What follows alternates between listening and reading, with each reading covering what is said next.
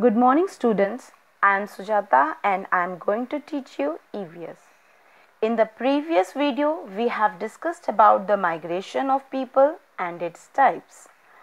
Today we are going to discuss about the displacement which means जगह जबरदस्ती से खाली करवाना moving someone or something from one position or place to another forcefully are called displacement.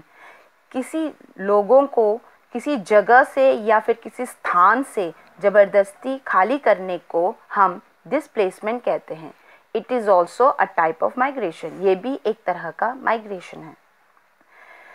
Displacement can happen in two ways displacement को दो रूपों में देखा जा सकता है। पहला फोर्स बाय द पीपल और द गवर्नमेंट लोगों के द्वारा या गवर्नमेंट के द्वारा खाली करवाना। Next force by the nature प्रकृति के द्वारा खाली करवाना। फ़र्स्ट फोर्स बाय पीपल और government for the development of villages गाँव की तरक्की के लिए like to construct dam dam को कंस्ट्रक्ट करने के लिए government ask the villages to leave the village government सरकार गाँव को खाली करने के लिए आदेश देती है गाँव वालों को। और इन वॉर और युद्ध के दौरान सरकार order people to leave some places due to danger कुछ जगहों को खाली करने के लिए बोलती है कारण है खतरा। सेकेंड फोर्स बाय नेचर प्रकृति के द्वारा भी खाली किया जा सकता है।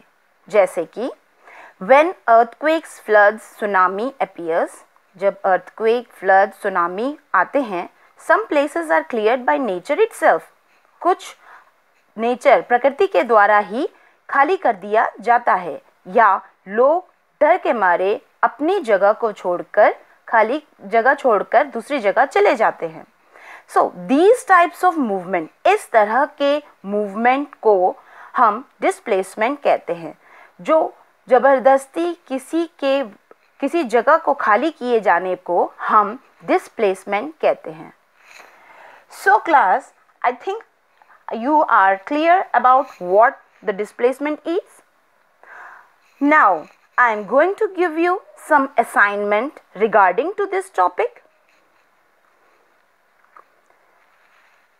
First, look, read these examples carefully and find out which sentences are displacement and which sentences are migration.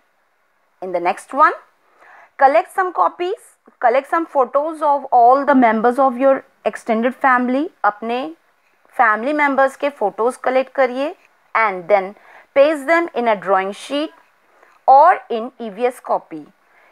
एक ड्राइंग शीट में पेस्ट करिए या फिर ईवीएस कॉपी में आप पेस्ट कर सकते हैं बिलो ईच फोटोग्राफ हर एक फोटोग्राफ के नीचे राइट देयर नेम्स उनके नाम लिखिए वेयर दे लिव कहाँ वो रहते हैं and how they are related to you और आपसे कैसे रिलेटेड हैं। So the topic is clear thank you